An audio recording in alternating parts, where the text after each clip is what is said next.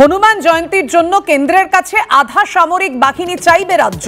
অবিলম্বে কেন্দ্রকে সাহায্য করতে হবে এমনই নির্দেশ হাইকোর্টের। হনুমান জয়ন্তী নিয়ে কোনো রাজনৈতিক নেতা কোথাও কোনো বক্তব্য পেশ করবেন না। মিছিল বা শোভাযাত্রা প্রশাসনের শর্ত লঙ্ঘন করলে দায় সেই প্রতিষ্ঠান ও তার আধিকারিকের, এমনই প্রস্তাব রাজ্যের। কতজন শোভাযাত্রায় থাকবেন তা আগে থেকে পুলিশকে জানাতে হবে। শোভাযাত্রা শুরু এবং শেষ নির্দিষ্ট সময় হতে হবে, প্রস্তাব রাজ্যের। পুরো রুট ব্যারিকেড করা এই মুহূর্তে সম্ভব নয়।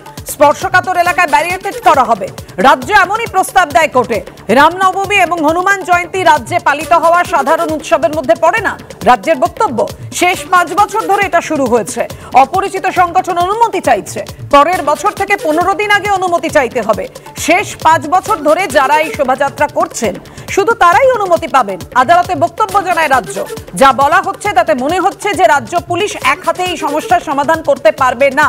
পাশের রাজ্য থেকে আধা সামরিক বাহিনী সাহায্য নেওয়া যেতে পারে। ছাদ থেকে পাথর ছোড়ার অভিযোগ উঠছে। রাজ্যের গোয়েন্দা বিভাগ কি করছিল? এটা তাদের ব্যর্থতা। বক্তব্য ভারপ্রাপ্ত প্রধান বিচারপতির। রুট মার্চ করতে হবে। সমস্ত বিচারকদের নিরাপত্তা নিশ্চিত করতে হবে। জানালো কলকাতা হাইকোর্ট।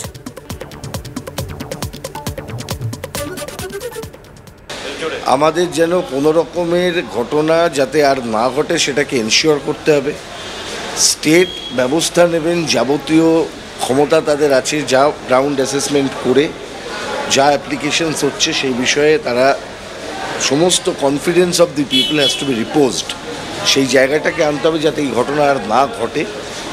এবং এই প্রপার অ্যাসেসমেন্টের উপর ভিত্তি করেই তারাই করবেন রিকোয়েস্ট করবেন প্যারামিলিটারি ফোর্স সেন্ট্রাল ফোর্স যা লাগে, সবটা করতে হবে।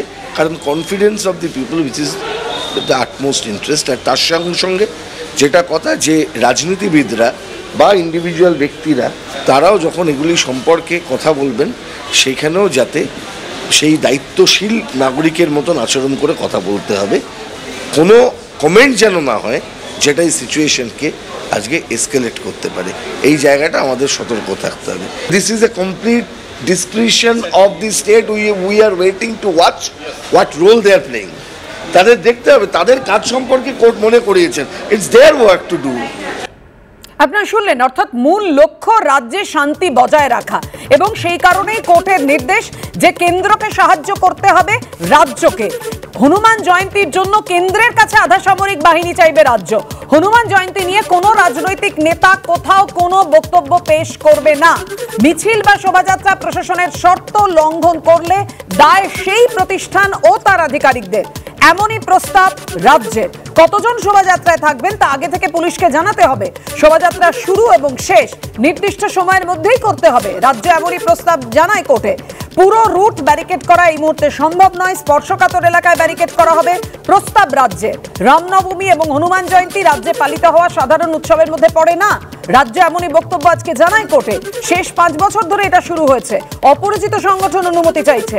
পরের বছর থেকে এই ধরনের অনুমতি চাইতে গেলে পনেরো দিন আগে চাইতে হবে।